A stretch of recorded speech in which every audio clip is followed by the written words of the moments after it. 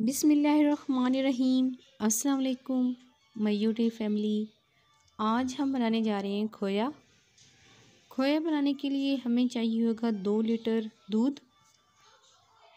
यहाँ पे जो मिल्क है वो हमने फुल फैट लेना है और जब तक बलाई ना आ जाए, उस वक़्त तक हमने इसको नहीं हिलाना और आँच अब इसकी हमने बिल्कुल लो कर दी है।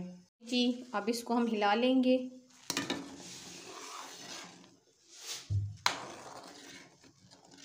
और आँच इसकी जो है वो हमने बिल्कुल लो रखनी है।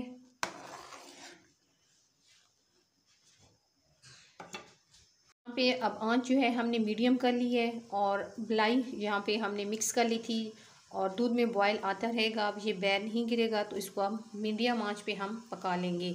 जी बीच बीच में इसको हमने चलाते रहना है और जो साइडें हैं वो इसकी हमने साफ़ करते रहने हैं।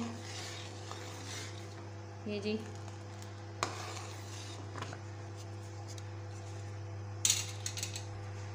तकरीबन एक घंटा हो गया इसको कुक होते हुए। मीडियम आँच पे अभी इसको हम मज़ीद खुश्क करेंगे और साथ ही इसकी हम जो साइडें हैं, वो भी हम साफ़ करते रहेंगे। ये जी।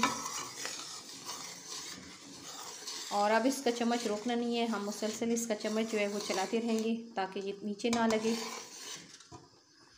ये जी, खोया यहाँ पे हमारा रेडी हो चुका है और ये काफ़ी थिक हो चुका है।